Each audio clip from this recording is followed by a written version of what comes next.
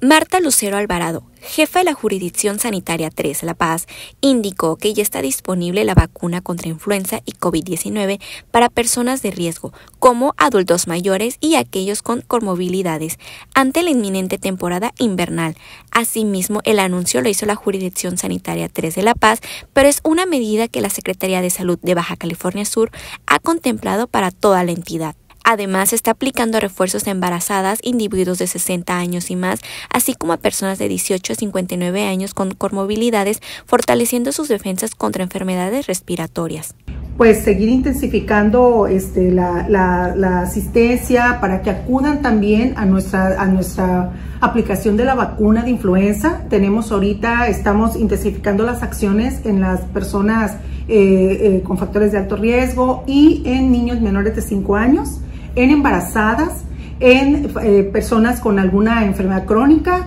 y en adultos mayores. Estamos este, por lo pronto eh, teniendo esta, esta intensificación y posteriormente se abrirá a todo el sector, a, todo el, a todas las familias.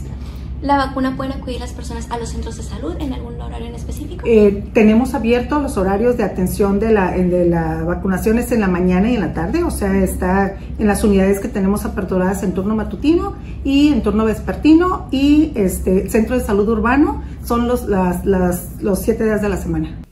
La doctora subraya la necesidad de mantener medidas preventivas como el lavado de manos, uso de cubrebocas ante síntomas y destaca la importancia de que adultos mayores y pacientes con comorbilidades utilicen mascarilla correctamente en espacios donde la sana distancia no es posible.